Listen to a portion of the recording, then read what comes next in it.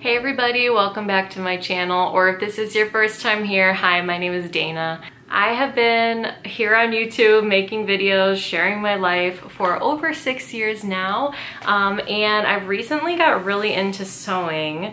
I took sewing lessons as a kid, and I took like, of course, like the home ec classes and everything, but uh, during my little break from YouTube, I got super into sewing my own clothes, so I really wanted to show you what I made, and hopefully uh, you can get a little bit of inspiration as well if you like to sew. Let's get right into it. This guy used to be a pair of my dad's Lucky Brand jeans that he didn't need anymore. And my parents are always giving me clothes, like if I want to sell them or, you know, I guess do this now.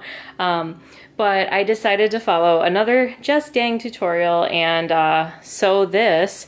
I love overall shorts. I have a pair from Levi's that I've been wearing for years and they don't really fit the way I'd like anymore. And I feel like the top half of this looks so good because it's like all one wash of denim, like the pocket and the straps and everything all look uniform. But then when you get to this part, because it's all from like the same pair of jeans, there's different distressing. So I kind of wish like these lines either went all the way up or if like the whole thing could just be a dark wash. So I think I'm gonna save this for next summer and maybe like re-dye it or something um, or get some bleach and do some bleaching on it and see what I want to do just to make it more uniform because that's the part that bums me out. I left the bottoms unfinished, but I did put a stitch here so I can have like the rolled up look. And I still need to add the buttons here. But yeah, it has like a tie at the top instead of like a snap thing. It's like a tie. And I feel like the back is not super flattering on my butt area, but um, honestly like I don't like live for my butt to look good. Like I I like the style of like dungarees. I think it's like really uh like worky looking, you know, and my dad always would talk about wearing them as a kid. So it was like a really special project to make an overall out of like a pair of his clothes. And it's extra special because you can see like where, you know, he'd keep his wallet and uh, the I left the Lucky brand tag on there.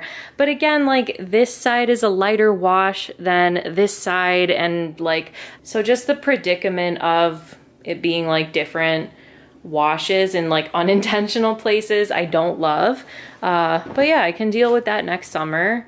And for now, like if I if I want to wear it like this, I think I can. It's just um, really wish it was all this dark wash. It would look so cute like that. This one was pretty hard to make because I kept putting the ruffles on backwards, like they were facing like one was facing this way and you know, it was all like weird.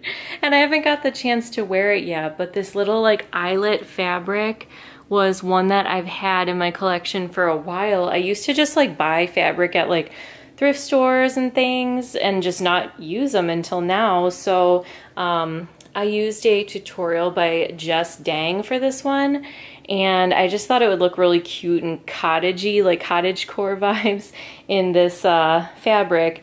And I did do like the little French seams so they're not like so there aren't like raw ends sticking out anywhere. The top is lined, but it's still pretty sheer just because this fabric, I mean, it has holes and it's a light color and it's lightweight.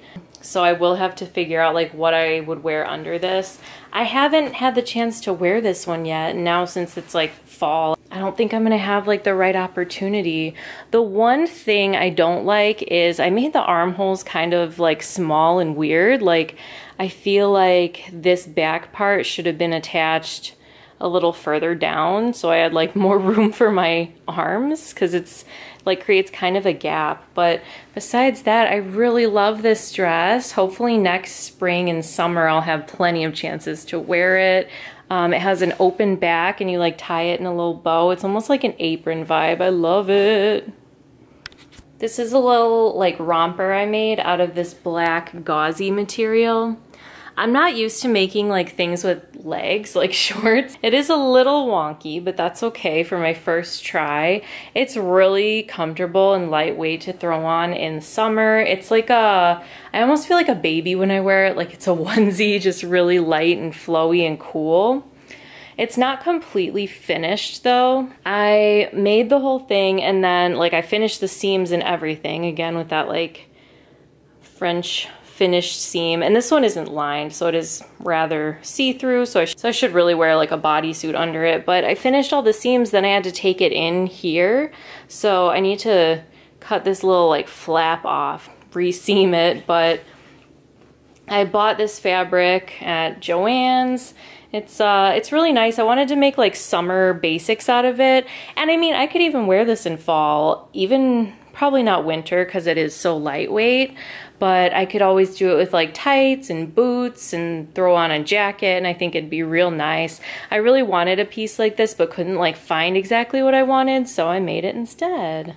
For these two dresses, I used about the same pattern. I like made it based on a Just Dang video again. I love her. I love her personality and her vibe and she just has such a good style and she's so good at sewing so I love her videos. But let's start with the lemons because this is what I made first. I'm going somewhere that's famous for their lemons and I really wanted a lemon themed dress or outfit to wear and I saw one at Nordstrom, a lemon dress, and I actually have the picture of it. And I really liked it, but I was like, there's things I would change. Like, you know, it doesn't fit me like a custom dress would. And like, it just, it had like a tiered skirt. I didn't really want that. And like the prints weren't lined up right. So I decided I would look for lemon fabric and make my own. I was able to find something really similar to the original dress and I made this. At first I put on like a smaller skirt, like it was more fitted to my body, but I'm like, you know what? I want like a fun retro silhouette. That's my favorite. So I changed that out for a uh, more voluminous skirt. And the top, it actually goes up pretty high, which is great. My armpits are covered, which I've never experienced in like clothes before buying for myself because of how women's bodies are. Like our bodies are all so different. They can't possibly make clothes that will fit everybody. So basically like all my dresses that fit on my chest have like a big armpit hole that shows too much of my armpit, but I like how my dresses come all the way up and this one has thicker straps than the red one just to be comfortable. I lined it with this like lining material, so that's why it makes that swooshy sound. And here's the back just to show the zipper and the structure of the back, but I'm so thrilled with this one. I love the pattern. I'm so excited to wear it on my trip, so you'll definitely be seeing this one in Instagram pictures when I'm on vacation.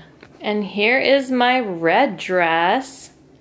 It looks a lot brighter on camera than it looks in person, even in my other video that I wore it, my tea review video. Uh, but it's the same pattern as the lemon dress. I just chose to do some like thinner straps, more like spaghetti straps.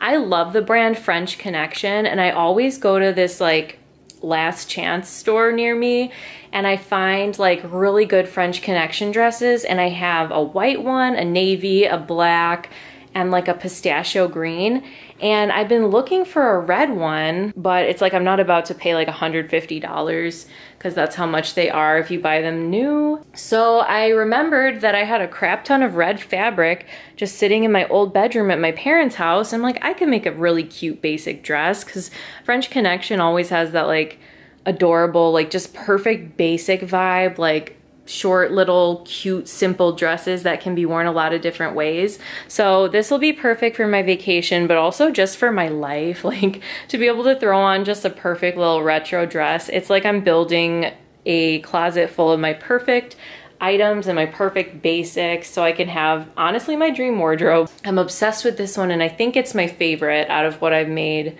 um, in this little batch of clothes that I've made. And these shirts I designed, it's not actually sewing, but I did like come up with these. Um, I'm sure they're not very unique, but this one says Pasta Milano and it's like a play on Prada. And then I have this one, it's like a twist on Gucci, but it says gnocchi instead. If you love pasta, you could actually buy one of these. I have them for sale on like my little merch store. So you can go ahead and click the link to that in my description box. All right, so I hope you enjoyed seeing everything I made. I definitely have a lot of plans for the upcoming months, you know, like my birthday's in September. So I have a dress that's like in the works right now for my birthday party. And then um, in October, I have like tons of Halloween stuff planned. So uh, definitely a lot to look forward to as far as sewing projects. But let me know if this was interesting to you, if you like seeing this, or if you'd rather just see me drink tea on the internet, uh, that's fine too. But I just wanted to share something that's like brought me a lot of joy recently. So hopefully it'll bring a little bit of joy to you as well to see it. But anyway, I hope that you and your families are all staying safe and healthy, and I hope you're having a beautiful day, and I'll see you next time. Thanks for watching.